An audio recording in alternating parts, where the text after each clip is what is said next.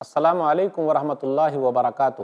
الحمد للہ کفا وسلام عباد الدین اصطفیٰ۔ اما بعد، محترم ناظرین کرام، درس قرآن کی اس نشست میں آپ حضرات کا استقبال ہے۔ آج کی نشست میں سورہ نو سورہ نمبر اکہتر مکمل ہے۔ جس کے اندر اٹھائیس آیتیں ہیں۔ اعوذ باللہ من الشیطان الرجیم۔ بسم اللہ الرحمن الرحیم۔ انا ارسلنا نوحا الى قومه ان انذر قومك من قبل ان یاتیہم عذاب علیم۔ بے شک ہم نے نوح کو ان کی قوم کی طرف بھیجا۔ کہ آپ اپنی قوم کو ڈرائیے، اس سے پہلے کہ انہیں دردناک عذاب آلے قال یا قوم، انی لکم نذیر مبین انہوں نے کہا، اے میری قوم، بے شک میں تمہیں کھلم کھلا ڈرانے والا ہوں۔ ان عبد اللہ واتقوہ واطیعون یہ کہ تم اللہ کی عبادت کرو اور اسی سے ڈرو اور میری اطاعت کرو۔ یغفر لکم من ذنوبکم ویؤخرکم الى اجل مسمى ان اجل اللہ اذا جاء لا یؤخر، لو کنتم تعلمون۔ وہ گناہوں سے تمہاری مغفرت کرے گا۔ اور تمہیں ایک مقررہ وقت تک مہلت دے گا۔ یقیناً جب اللہ کا وعدہ آ جاتا ہے تو مؤخر نہیں ہوتا۔ کاش تمہیں علم ہوتا۔ قال رب انی دعوت قومی لیلا و نہارا۔ انہوں نے کہا، میرے رب، بے شک میں نے اپنی قوم کو رات دن دعوت دی۔ فلم یزدہم دعائی الا فرارا۔ مگر میرے بلانے سے یہ لوگ اور زیادہ بھاگنے لگے۔ وَإِنِّي كُلَّمَا دَعُوتُهُمْ لِتَغْفِرَ لَهُمْ جَعَلُوا أَصَابِعَهُمْ فِي آذَانِهِمْ وَاسْتَغْشَوْا ثِيَابَهُمْ وَأَصَرُّوا وَاسْتَكْبَرُوا اسْتِكْبَارًا۔ اور میں نے جب بھی انہیں دعوت دی تاکہ تو ان کی مغفرت کرے، تو انہوں نے اپنی انگلیاں اپنے کانوں میں ڈال لیں اور اپنے کپڑے اوپر لپیٹ لیے اور ضد کی اور انتہائی تکبر کیا۔ ثم انی دعوتہم جہارا۔ پھر بے شک میں نے انہیں کھلی دعوت دی۔ ثم انی اعلنت لہم واسررت لہم اسرارا۔ پھر میں نے ان سے علانیہ کہا اور چپکے چپکے بھی سمجھایا۔ فَقُلْ تُسْتَغْفِرُوا رَبَّكُمْ إِنَّهُ كَانَ غَفَّارًا۔ چنانچہ میں نے کہا، تم اپنے رب سے استغفار کرو۔ بے شک وہ بڑا ہی بخشنے والا ہے۔ یرسل السماء علیکم مدرارا۔ وہ تم پر آسمان سے موصلہ دھار بارش برسائے گا۔ وَيُمْدِدْكُمْ بِأَمْوَالٍ وَبَنِينَ وَيَجْعَلْ لَكُمْ جَنَّاتٍ وَيَجْعَلْ لَكُمْ أَنْهَارًا۔ اور تمہیں پے در پہ مال اور اولاد میں ترقی دے گا اور تمہارے لیے باغ پیدا کرے گا۔ اور نہریں جاری کر دے گا۔ مَا لَكُمْ لَا تَرْجُونَ لِلَّهِ وَقَارًا۔ تمہیں کیا ہو گیا ہے کہ تم اللہ کی برتری کا عقیدہ نہیں رکھتے؟ وَقَدْ خَلَقَكُمْ أَطْوَارًا۔ حالانکہ اس نے تمہیں کئی مرحلوں میں پیدا کیا ہے۔ علم ترو کیف خلق اللہ سبع سماوات انطباقا کیا تم نے نہیں دیکھا کہ اللہ نے سات آسمان تہبتہ کیسے پیدا کیے؟ وجعل القمر فیہن نورا وجعل الشمس سراجا۔ اور اس نے ان میں چاند کو روشن اور سورج کو چراغ بنایا۔ واللہ انبتکم من الارض نباتا، اور اللہ ہی نے تمہیں زمین سے خاص انداز سے اگایا، ثم یعیدکم فیہا ویخرجکم اخراجا، پھر وہ تمہیں اس میں لوٹائے گا اور پھر تمہیں دوبارہ نکالے گا۔ واللہ جعل لکم الارض بساطا، اور اللہ نے زمین کو تمہارے لیے بچھا دیا۔ لتسلکو منہا سبلا فجاجا، تاکہ تم اس کی کھلی راہوں میں چلو۔ قال نوح رب انہم عصونی واتبعوا من لم یزدہ مالہ وولدہ الا خسارا۔ نوح نے کہا، اے میرے رب، بے شک انہوں نے میری نافرمانی کی اور ان کی اتباع کی جنہیں ان کے مال اور اولاد نے خسارے ہی میں بڑھایا۔ وہ مکر و مکرن کبارا اور انہوں نے بڑے بڑے مکر کیے۔ وقال لا تذرن آلہتکم ولا تذرن ودن ولا سواع ولا یغوس ویعوق ونصرا اور انہوں نے کہا، تم ہرگز اپنے معبودوں کو نہ چھوڑو اور ہرگز نہ چھوڑو تم ود کو اور نہ سوا کو اور نہ یغوس اور یعوق اور نہ نصر کو۔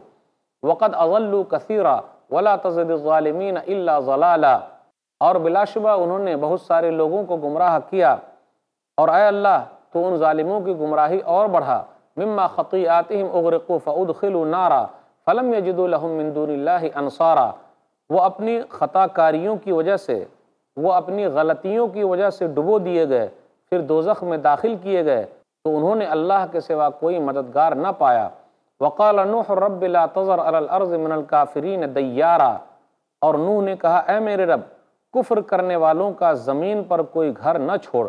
انکا انتظرہم یظل عبادک ولا یلد الا فاجرا کفارا۔ بلا شبہ، اگر تو انہیں چھوڑ دے گا تو وہ تیرے بندوں کو گمراہ کریں گے اور آئندہ فاجر کافر ہی جنیں گے۔ رب اغفر لی ولوالدی ولمن دخل بیتی مؤمنا وللمؤمنین والمؤمنات ولا تزد الظالمین الا تبارا۔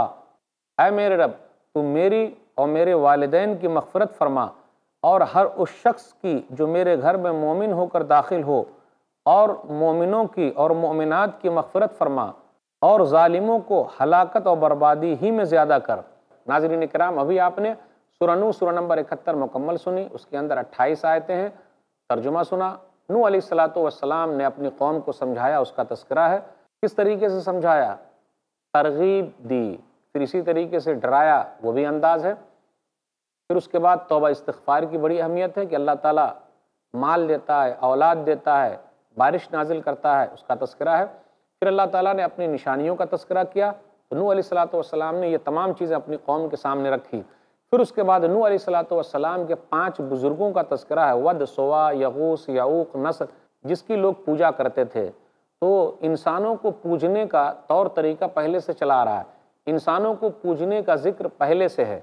نو علیہ السلاۃ والسلام کی قوم ایک ایسی قوم ہے جس میں لوگوں کو پوجنے کی پرمپرا شروع ہوئی۔ لوگوں کو پوجنے کا طور طریقہ شروع ہوا۔ تو لوگ پکڑ لیے گئے۔ اللہ تعالیٰ نے ان لوگوں کو پکڑ لیا اور وہ لوگ ڈبو دیے گئے۔ پھر اس کے بعد نو علیہ السلاۃ والسلام کی بد دعا ہے اور نیک لوگوں کے لیے دعا ہے۔ اب آئیے ذرا تفصیل کے ساتھ ان آیتوں کو لیتے ہیں۔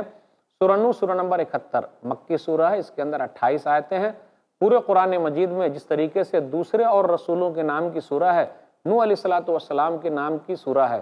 لیکن یہاں نو علیہ السلاۃ والسلام کے دعوتی چیزوں کا زیادہ تذکرہ ہوا ہے۔ نو علیہ السلاۃ والسلام اور انبیاء علیہ السلاۃ والسلام جتنے بھی ہیں، سب فل ٹائم دائی ہیں پارٹ ٹائم دائی نہیں ہیں۔ اس سورہ کے اندر آپ کو دعوتی طور طریقے کا پتہ چلے گا۔ اس سورہ کے اندر دعوتی انداز آپ کو پتہ چلے گا کہ نو علیہ السلاۃ والسلام نے کیسے سمجھایا ہے۔ نو علیہ السلاۃ والسلام آدم ثانی ہیں۔ نو علیہ السلاۃ والسلام پہلے رسول ہیں۔ نو علیہ السلاۃ والسلام کی قوم پہلی قوم ہے جن کے یہاں انسانوں کی عبادت شروع ہوئی۔ اب آئیے ذرا دیکھتے ہیں کیا انداز ہے نو علیہ السلاۃ والسلام کے سمجھانے کا۔ آیت نمبر ایک سے چار کے درمیان غور کیجیے۔ نو علیہ السلاۃ والسلام اپنی قوم کو دعوت دیتے ہیں، ڈراتے ہیں۔ اللہ تعالیٰ نے تمام نبیوں کو اسی لیے بھیجا ہے کہ وہ اپنی قوم کو ڈرائے۔ ان انظر قومک، آپ اپنی قوم کو ڈرائیے۔ قبل اس کے کی دردناک عذاب آ جائے۔ تو انہوں نے کیا کہا؟ لوگوں ایک اللہ کی عبادت کرو۔ اللہ سے ڈرو اور میری بات مانو۔ اللہ اور اس کے رسول کی اطاعت کا فائدہ کیا ہے؟ جو اللہ کی مانے گا اپنے رسول کی مانے گا۔ فائدہ کیا ہے؟ یکفر لکم من ذنوبکم و جو اخر کم الى اجل مسمع اللہ گناہوں کو بخش دے گا اور اللہ تعالیٰ مقررہ وقت تک مہلت دے گا۔ نو علیہ السلاۃ والسلام اپنی قوم کا شکوہ بیان کرتے ہیں۔ آیت نمبر پانچ سے بیس کے درمیان غور کیجیے۔ قال رب انی دعوت قومی لیلا و نہارا۔ اے میرے رب، بے شک میں نے انہیں دن رات بلایا۔ تو یہ فل ٹائم دائی ہیں۔ چوبیس گھنٹے کے دائی ہیں۔ پارٹ ٹائم دائی نہیں ہیں۔ اس لیے لفظ استعمال ہوا لیل و نہارا۔ اس سے یہ مسئلہ بھی نکالا جا سکتا ہے، تقریر کبھی لمبی بھی ہو سکتی ہے۔ ضروری نہیں کہ ہمیشہ لمبی ہو۔ اس سے یہ بھی مسئلہ نکالا جا سکتا ہے۔ حالات کے اعتبار سے خطاب کا انداز بڑا بھی ہو سکتا ہے، زیادہ بھی ہو سکتا ہے، کم بھی ہو سکتا ہے۔ تو دن اور رات سمجھایا۔ ضرورت پڑنے پر آدمی کو زیادہ وقت لگانا بھی پڑے گا۔ لیکن ڈرانے سے کیا ہوا؟ فلم یزدہم دعا اللہ فرارا۔ جب بھی وہ ڈراتے تھے تو لوگ بھاگ جاتے تھے۔ کیا کر لیتے تھے وہ لوگ؟ اپنی کانوں میں اپنی انگلیاں ٹھوس لیتے تھے۔ پھر اسی طرح اپنے اوپر کپڑے کو ڈھانپ لیتے تھے۔ وسطق سیابہم ڈھانپ لینے کا معنی کیا ہے؟ عبداللہ بن عباس رضی اللہ تعالیٰ بیان فرماتے ہیں عدر المنصور جل نمبر چھ، صفحہ نمبر چار سو چوبیس۔ وہ اجنبی بن گئے تاکہ انہیں آپ پہچان نہ سکیں۔ یہ معنی ہے۔ پھر اسی طرح سعید بن جبیر سدی وغیرہ کہتے ہیں عدر المنصور جل نمبر چھ، صفحہ نمبر چار سو چوبیس۔ کہ وہ لوگ سر ڈھانپ لیتے تاکہ آپ کی باتیں سن ہی نہ سکے۔ ایسے لوگ ہوتے ہیں، ایسے لوگوں سے پلہ پڑتا ہے۔ ساڑھے نو سو سال تک نو علیہ السلاۃ والسلام نے تبلیغ کیے کتنے لوگ ایمان لائے؟ چند لوگ ایمان لائے۔ کہا جاتا ہے کہ اسی لوگ ایمان لائے۔ وہ اثر اور ان لوگوں نے ضد کیا۔ ضدی بنے رہے، سنے ہی نہیں، سنیں گے ہی نہیں۔ آج کل بھی دیکھیے آپ، لوگ کیا ہے؟ سننا ہی نہیں چاہتے۔ اپنی بات پر اڑے ہوئے ہیں۔ لیکن دائی کو گھبرانا نہیں چاہیے۔ نو علیہ السلاۃ والسلام نے ساڑھے نو سو سال تک تبلیغ کی ہے۔ وسطک برستقبارہ انتہائی تکبر کیا۔ جو لوگ حق پہ نہیں ہوتے، تکبر، غرور، گھمنڈ میں مبتلا ہوتے ہیں۔ نو علیہ السلاۃ والسلام کے سمجھانے کا انداز کیا ہے؟ اس لیے وہ خود کہتے ہیں سم انی دعوتہم جہارا بے شک میں نے ان کو کھلم کھلا سمجھایا، اعلانیہ سمجھایا، چپکے سے بھی سمجھایا، حالات کے اعتبار سے سمجھایا۔ تو یہ انداز تھا ان کا سمجھانے کا۔ پھر اس کے بعد وہ خود ترغیب دلاتے اور کہتے کہ اگر اللہ تعالیٰ کی طرف تم جاؤ گے اگر تم اللہ کی بات مانو گے میری بات مانو گے توبہ استغفار کرو گے تو فائدہ کیا ہے؟ تو ابھی ترغیبات چل رہی ہے، وہ رغبت دلا رہے ہیں، فائدہ کیا ہوگا؟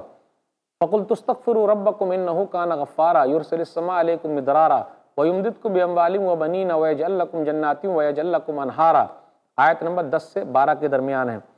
بعض علماء اس آیت کی وجہ سے یہ کہتے ہیں کہ استسقاء کی نماز میں بارش مانگنے کی جو نماز پڑھی جاتی ہے، اس میں سورہ نوح کی تلاوت ہونی چاہیے، کیونکہ یہاں استغفار کا تذکرہ ہے۔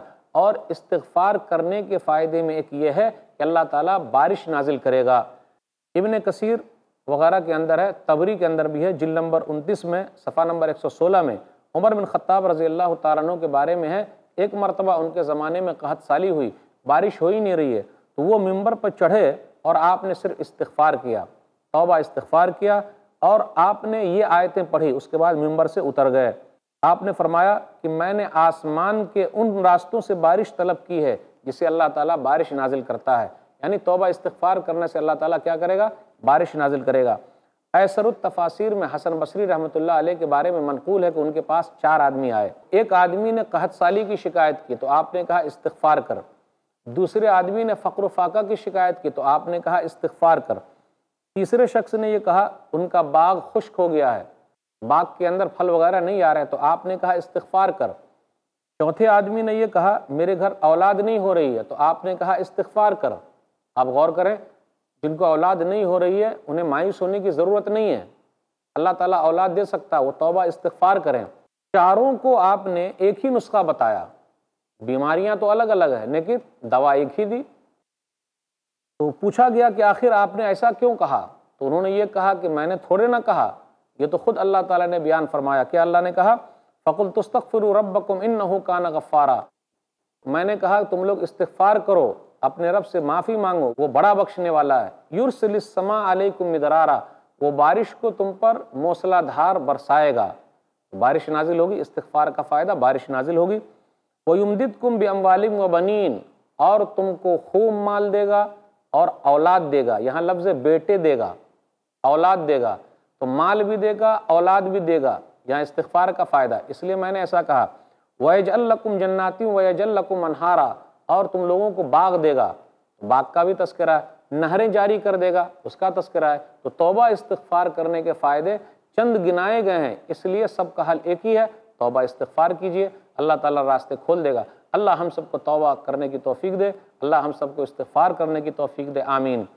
آیت نمبر ایک سے بارہ تک ابھی دعوت کے اندر ترغیب کا اسلوب تھا۔ یعنی رغبت دلائی جا رہی کہ اگر ایسا کرو گے اللہ کی بات مانو گے رسول کی بات مانو گے تو تمہارا یہ فائدہ ہے۔ اب آیت نمبر تیرہ سے اٹھائیس کے درمیان ترہیب کا اسلوب اختیار کیا گیا۔ ہے ترہیب مانے ڈرانا۔ اگر تم ایسا نہیں کرو گے تو تمہارا یہ نقصان ہوگا۔ اگر تم نہیں مانو گے بات، تمہارا یہ نقصان ہوگا۔ اور وہ نقصان ہوا بات نہ ماننے کا۔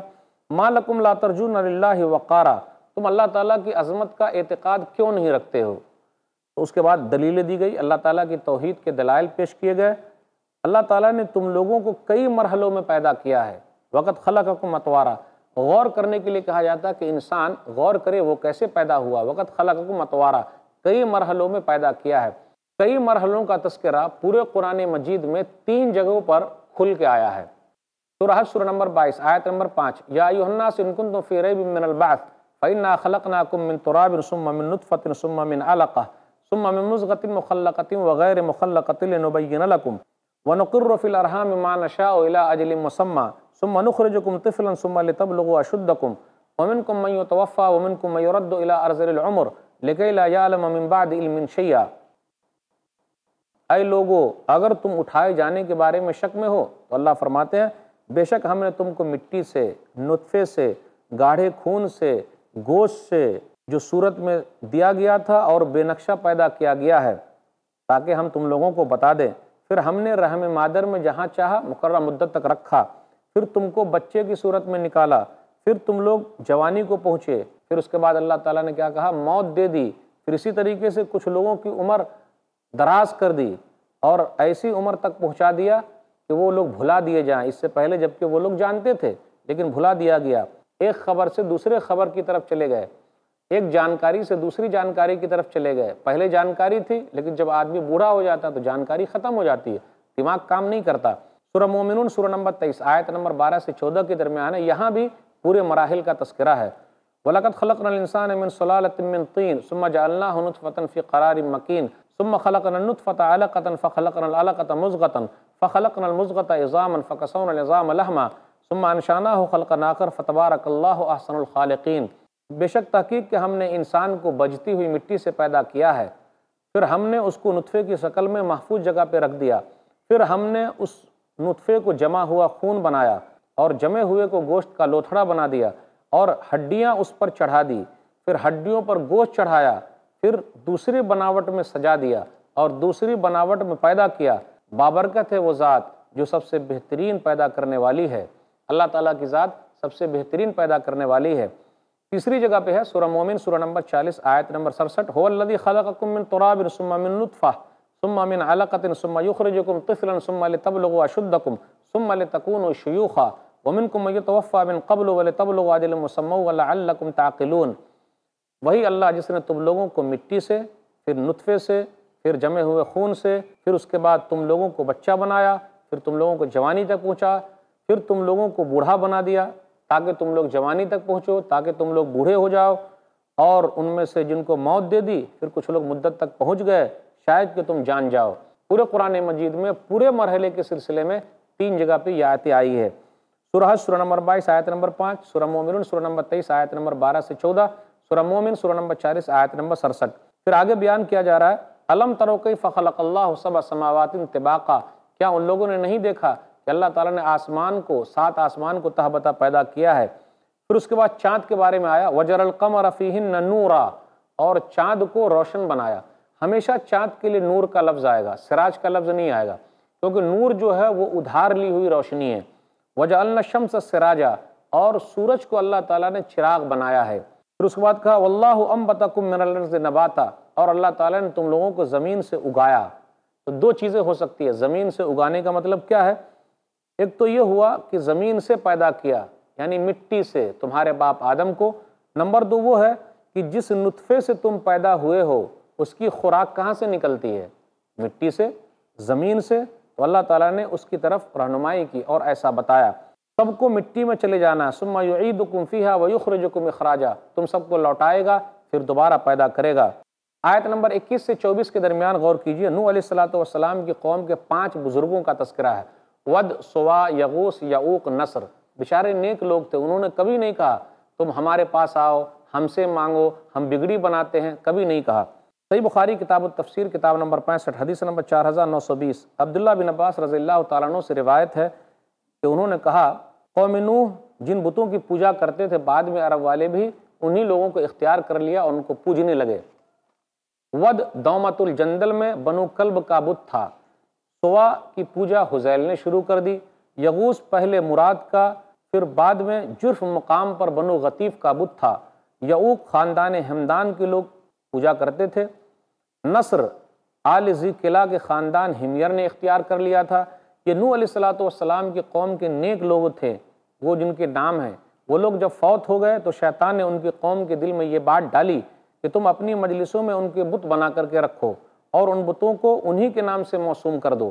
چنانچہ انہوں نے ایسا ہی کیا، مگر ان بتوں کی پوجا نہیں کی۔ یہاں تک کہ بعد میں لوگ آئے اور جب علم بھی ختم ہو گیا، دیکھیں جب علم ختم ہو جاتا ہے، تبھی لوگ ادھر ادھر جاتے جہالت کب بڑھتی ہے؟ کہا، جب علم ختم ہو گیا تو ان بتوں کی پوجا شروع ہو گئی۔ آج دیکھ لیجیے، اللہ کو چھوڑ کر کہیں اور لوگ سجدے کر رہے ہیں، نہیں جانتے۔ بھائی، اللہ تعالیٰ نے انسان کو جو بنایا، اپنی عبادت کے لیے بنایا ہے، کسی اور کے سامنے جھکنے کے لیے نہیں بنایا۔ بگڑی بنانے والا اللہ، اولاد دینے والا اللہ، روزی روٹی کا انتظام کرنے والا اللہ، پریشانی کو ختم کرنے والا اللہ، کاروبار کو چمکانے والا اللہ، تو اللہ ہی سے مانگنا ہے۔ انسان تھوڑے نہ دے سکتے ہیں۔ اللہ سنتا ہے۔ انسان کیا ہے؟ ایک کی بات سنے گا، اللہ سب کی سنتا ہے۔ انسان تو ایسا ایک دو مرتبہ مانگیے گا تو ناراض ہو جائے گا۔ اللہ نہ مانگنے سے ناراض ہو جاتے ہیں۔ اس کے بعد کیا ہوا؟ جب پانچ بزرگوں کو وہ لوگ پوجنے لگے، اللہ کو چھوڑ دیا تو انجام کیا ہوا؟ سب ڈبو دیے گئے۔ مما خطیعاتہم اغرقو فادخلوا نارا اور ان کا انجام برا ہوا۔ تو جہاں بھی اس طریقے کا مسئلہ ہوگا، اللہ کو چھوڑ کر لوگ غیر اللہ کو مانیں گے۔ اپنی مرادیں ان سے پوری کروانے کی کوشش کریں گے اور ان سے جا کے مانگیں گے۔ جبکہ وہ کچھ بھی نہیں کر سکتے، وہ دے بھی نہیں سکتے۔ اللہ کے علاوہ کوئی بھی دینے والا نہیں تو ان کا نقصان ہوگا۔ تو اللہ تعالیٰ نے نو علیہ السلاۃ والسلام کی قوم کو ڈبو دیا اور وہ لوگ جہنم میں داخل کر دیے گئے۔ تو اللہ کے علاوہ کسی اور کی پوجا صحیح نہیں ہے، درست نہیں ہے۔ وہ لوگ گھاٹے میں ہیں جو غیر اللہ کی عبادت کر رہے ہیں، ان سے مرادیں مانگ رہے ہیں۔ وہ کچھ بھی پورا نہیں کر سکتے۔ نو علیہ السلاۃ والسلام نے اپنی قوم کے لیے تین طرح سے بد دعا کی۔ ولا تزد الظالمین اللہ ضلالہ آیت نمبر چوبیس میں ہے۔ آیت نمبر چھبیس میں ہے، رب لا تذر علی الارض من الكافرین دیارہ آیت نمبر اٹھائیس ہے، ولا تزد الظالمین اللہ تبارہ آیت نمبر چوبیس کے اندر آیا، اللہ تو ظالموں کی ضلالت میں اور زیادتی کر۔ آیت نمبر چھبیس میں ہے، اے اللہ زمین پر کفر کرنے والے گمراہ کو نہ چھوڑ۔ اور آیت نمبر اٹھائیس میں ہے، اللہ ظالموں کی ہلاکت میں زیادتی کر۔ تین طرح سے جب بد دعا کی، تو ان کی قوم کو بد دعا لگ گئی۔ اور اللہ تعالیٰ نے ان کی قوم کو برباد کر دیا۔ اس لیے لوگوں کو چاہیے کہ وہ ڈریں، دعوت و تبلیغ کے کام کرنے والوں کی بد دعا نہ لیں، نقصان ہو سکتا ہے۔ اور انبیاء علیہ السلاۃ والسلام اگر بد دعا کر دیں تو بد دعا قبول ہو کے رہے گی۔ ان کی دعا بھی ہے کہ اے میرے رب، مجھ کو بخش دے، میرے ماں باپ کو بخش دے، مومنوں کو بخش دے، ایمان والوں کو بخش دے، مرد ہو یا عورت، سب کو بخش دے۔ تو دعا بھی انہوں نے کی ہے۔ نو علیہ السلاۃ والسلام نے بد دعا کی ہے۔ اور بھی رسولوں کے بارے میں آیا کہ انہوں نے اپنی قوم کے لیے بد دعا کی ہے۔ پانی کتنا سر سے اوپر ہو گیا ہوگا؟ تبھی تو بد دعا کی ہے ورنہ بد دعا نہیں کرتے ہیں۔ موسیٰ علیہ السلاۃ والسلام نے کہا، اے ہمارے رب، ان کے مال برباد کر دے اور ان کے دل سخت کر دے اور وہ ایمان نہ لائیں، یہاں تک کہ وہ دردناک عذاب کو چکھ لے۔ اللہ تعالیٰ نبیوں کی دعا کو بھی قبول کرتا ہے اور اللہ تعالیٰ نبیوں کی بد دعا کو بھی قبول کرتا ہے۔ ابراہیم علیہ السلاۃ والسلام نے اپنے ماننے والوں کے لیے دعا کی ہے۔ سورہ ابراہیم، سورہ نمبر چودہ، آیت نمبر پینتیس اور چھتیس پر غور کیجیے جنوبنی و بنی ان عبد السلام میرے رب مجھے اور میری اولاد کو بت پوجنے سے دور رکھنا۔ رب ان نہ کثیر من الناس۔ اے میرے رب، انہوں نے بہت سارے لوگوں کو گمراہ کیا۔ تو بتوں کی پوجا سے دور رکھنے کے لیے نبیوں نے دعا کی ہے۔ اس لیے ہمیں اور آپ کو غیر اللہ کی عبادت سے دور رہنے کے لیے ہمیشہ اللہ سے دعا کرنی چاہیے۔ کہ اللہ تو اپنی عبادت پر ہمارے دل کو بیٹھا دے۔ اللہم انی علی ذکر کا و شکر کا و حسن عبادتک۔ اے اللہ، تو اپنے ذکر اور شکر اور حسن عبادت کی توفیق دے۔ آمین۔ و آخر دعوانا الحمدللہ رب العالمین۔ وصلی اللہ علیہ نبینا محمد و علیہ وصحب اجمعین۔ والسلام علیکم ورحمۃ اللہ وبرکاتہ۔